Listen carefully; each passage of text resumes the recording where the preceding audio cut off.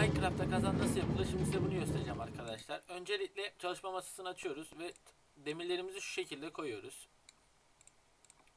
Şu şekilde. Orta taraf ve üst tarafın orta tarafı boş kalacak şekilde gördüğünüz gibi kazan. Peki ne işe yarar arkadaşlar kazan onu da göstermek istiyorum. Kazan iksir yapımında kullanılır arkadaşlar. Diyelim ki şöyle göstereyim. İçine biraz su koyduk. Biraz su alalım.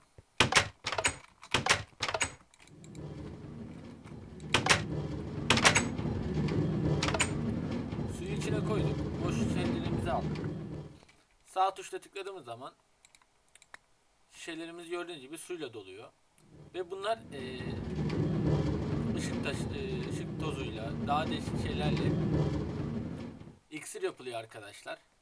Kazan eee, amacı bu. Ama kazan yerine isterseniz şu şekilde.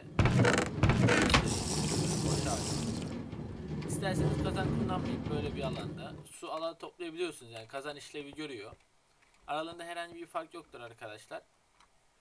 Kazan yapımı bu kadar basit arkadaşlar. Kullanışını gösterdim. Bir dahaki videoda görüşmek üzere.